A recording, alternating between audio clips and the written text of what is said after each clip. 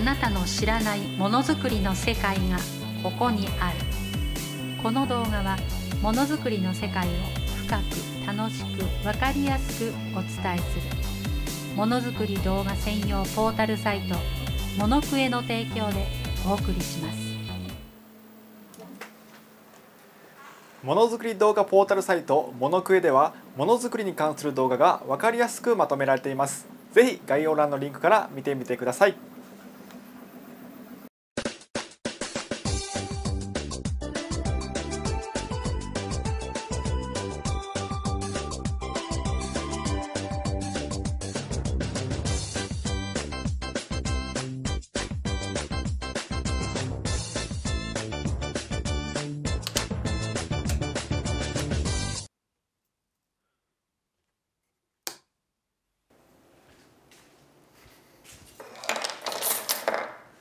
はい部品が全て揃ったので今から組み立てていこうと思います。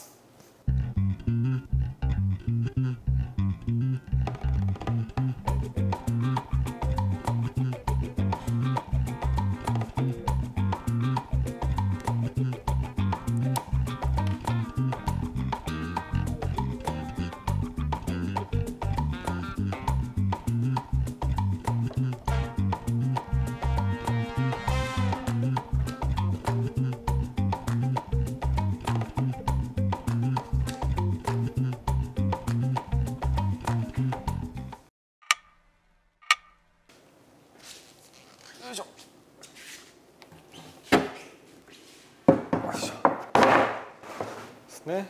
こうやってネジ緩めて、え長さを調整します。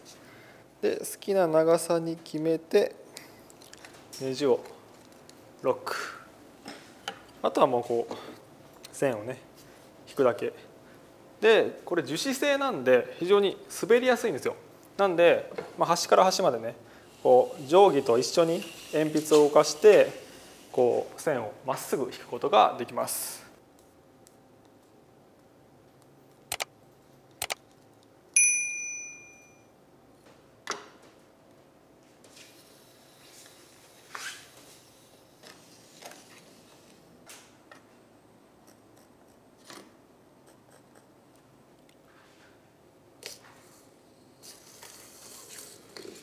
次はハイトゲージをご紹介します、えーこちらが本物のハイトゲージでえこっちがえ手作りのハイトゲージなんですけど、まあ、機能的にはえーほぼ一緒。っていうかまあ全く同じですね。機構的には。まあここのえーまあ軸 Z 軸がスライドしてえー厚みとかえ段差を測るというえ測定具になります。こちらも同じように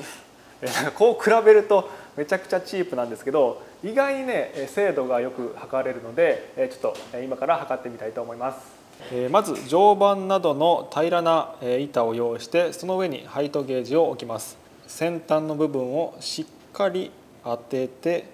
その時にこのメモリがゼロになることを確認します。こっちも同じですね。一番下まで来た時に0、まあ、この場合、え0というかスケールの端っこが0なので、えーちゃんと0に来てるか確認します。で、えー測定したいものを置いてよいしょ。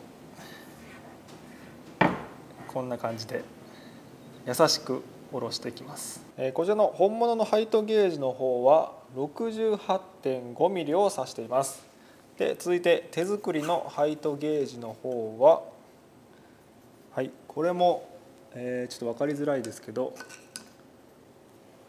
まあ同じですね。68.5を指してるかなと思います。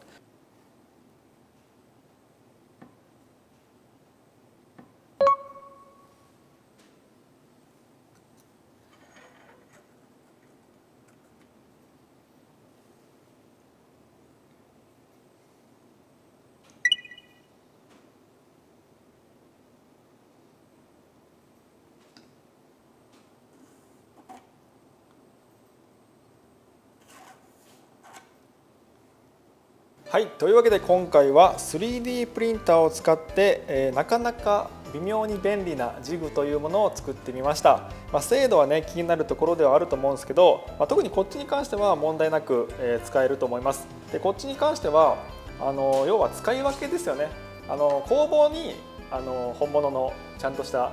ハイトゲージがあるので家とかでちょっとした測定をするときに、えまあ、ったら便利かなと思ってます一応僕は家に1個と子供にも1個渡してあるので、えー、なんかなんか勉強がてら適当に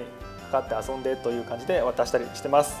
えー、今回作ったものの 3D データは、え、販売しておりますので、えー、ぜひ概要欄から見て皆さんも作ってみてください。